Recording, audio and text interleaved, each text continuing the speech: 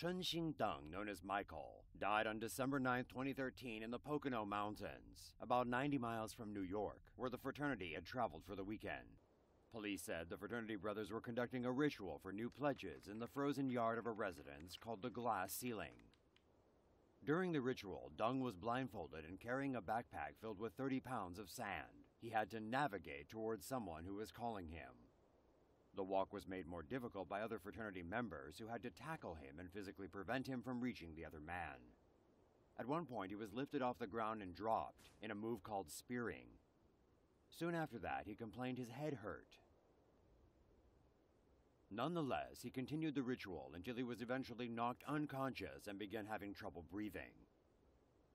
Police said Deng was carried inside the residence and placed near a fire because his body was cold and wet. Instead of calling emergency services, however, some members called their national fraternity president, who told them to hide any fraternity items in the house.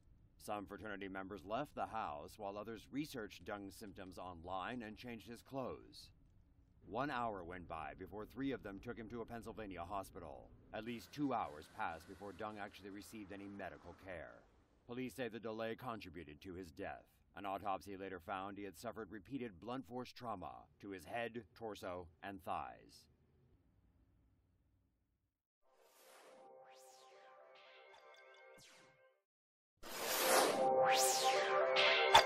you